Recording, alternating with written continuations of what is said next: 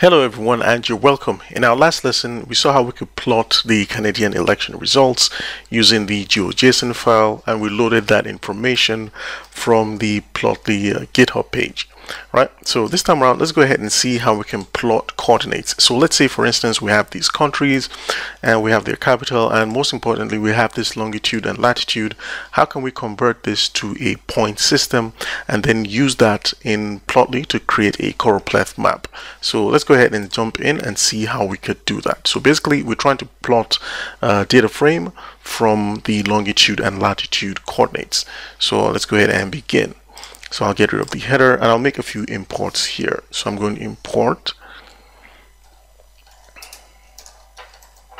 matplotlib and I'm also going to import matplotlib pyplot as plt and we're also going to import geopandas as gpd and we're going to import plotly. Dot express as px and let's just run this uh, cell to make sure everything is uh, kind of running smoothly. So the next thing I'm going to do is just load our uh, path to our uh, countries.csv file. So I'll just say a path. I'll just say countries underscore path is going to be equal to a uh, raw string and I'll pass in the path for that file. So it's in C. Oops I'll just put this in between. So it's in my users slash the name of my uh, system and the name of the file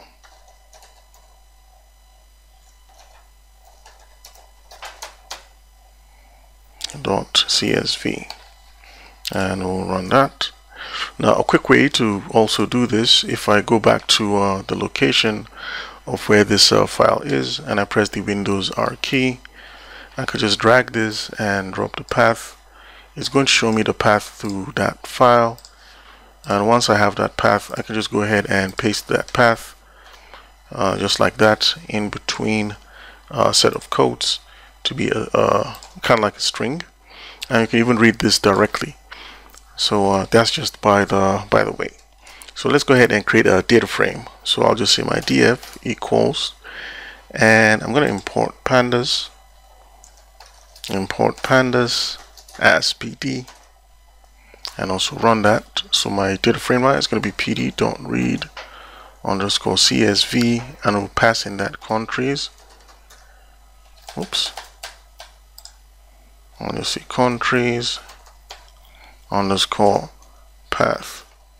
This makes it much more cleaner as I don't have to pass in all this uh, information there. And if you quickly want to see our data frame, we can just run that and we can see our data frame, which means everything is uh, fine. So right now what we're going to do is to use uh, geopandas.points underscore from xy method to convert these data frames to uh, longitude and latitude points. So to do that, let's just go ahead down here and I'll just say uh,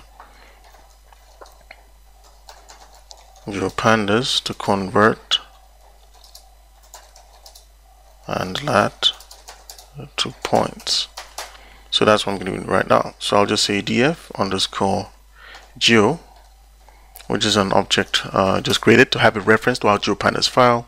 I'm just going to say gpd dot geodata frame.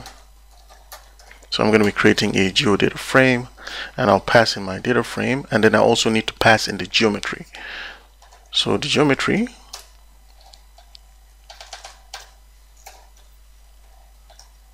alright that wasn't so hard. Is going to be equal to our geopandas dot points underscore from underscore xy. Basically, this means points from a two-dimensional coordinate system. So I'll just uh, drop that down. I'll just pass my df dot longitude and comma df dot latitude.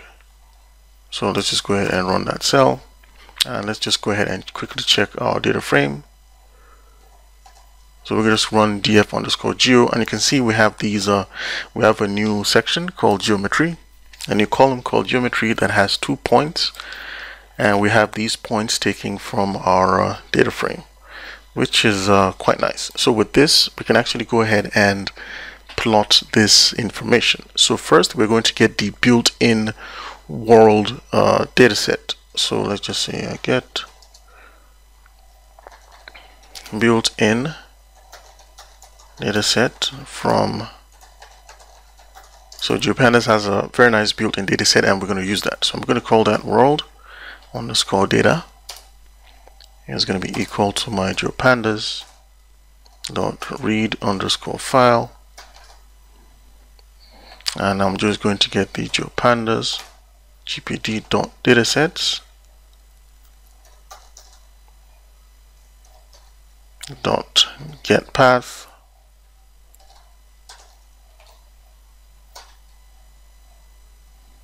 and what I'm just going to get is the natural earth low res I'm just going to natural earth. Underscore low res just like that. So now we've gotten that path what we need to do is to actually plot our world level map. So plot let's just say plot world map with uh, the same information. So what I'm going to do is to set the continent to Africa because these are kind of like West African countries. We have five West African countries. So to do that, I'll first create an axis. So I'm just going to call that axis. And now that I have this axis, I'm just going to say uh, world underscore data, which is the object we just created right now. I'm going to pass this like a uh, column so I'm just going to say world underscore data dot continent. So I'm just kind of filtering our continent using our data frame. I'm going to pass this to uh, Africa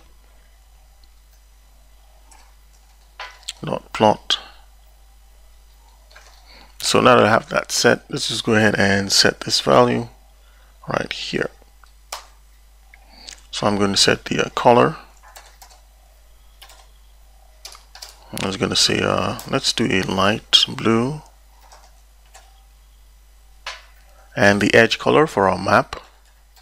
So I'm just gonna say edge color. I'm gonna set the edge color to uh, let's say black.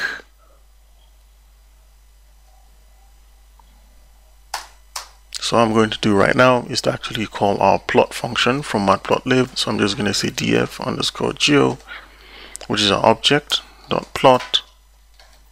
And let's go and pass in our axes. And let's set the color to uh, let's say black. So basically this is going to create uh, points on our map. So let's go ahead and set a title. And let's just say plt dot title. And I'll just call that uh, West African countries.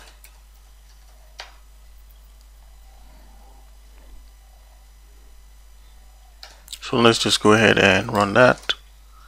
So you can see we have this uh, map that says West African countries and we have these black points to represent those uh, countries. If we go ahead and set this to say white and run that we're going to have these white uh, points that represents the uh, country so uh, I'll just set this back to black because I feel it's uh, kind of like better looking. So what we can do if we want to improve the uh, size or the output of this map, let's go ahead and just do this. So let's go ahead and just customize this map a bit so it can actually be better and we make it larger and then we see how we can even export that map. So I'm just going to create a figure, an object called figure I'll just call in matplotlib dot pyplot dot configure which is cfg so I'm going to set our size. So I'm just going to say fig dot set size. Underscore inch inches. I'm going to set this to a 9 by 6 which is simply a width and height of 9 by 6 6 I'm going to save my image So I'm going to say fig.savefig. And let's just call that uh, map plot dot let's say png and I'll set the resolution to let's say uh, DPI to 200 DPI and I'm going to do my PLT dot show so I can show that plot let's get rid of this extra space and let's run it. So it says uh, I think it's general config not CGF so I think this should be GCF sorry about that guys. I'll just run that again. And now you can see our config file works because we actually have a larger uh, map that has this value which is uh, super great now if we wanted to see this in a choropleth map let's just quickly go ahead and map that. Let's create a figure called F an object called F. And what I'll do first is import plotly. Okay we've done that. Plotly express as px and let's get down here. So I'm simply going to say px dot choropleth and we'll pass in our data frame we'll also pass in our location mode and we'll set that to country names so next we'll pass in our locations is going to be equal to our df, our data frame, and we'll pass in the countries. So next, let's pass in the scope.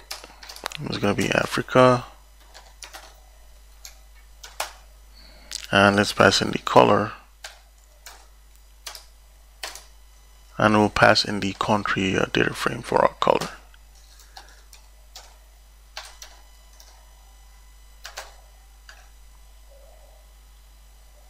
And finally, let's show our figure. So let's just say f dot show, and let's run this. So it says there's a key error, so it means I must have typed a key wrongly. So let's go ahead and see what that uh, error is. So it says uh, key error countries. So let's go ahead and see that. So our location is actually country, not country.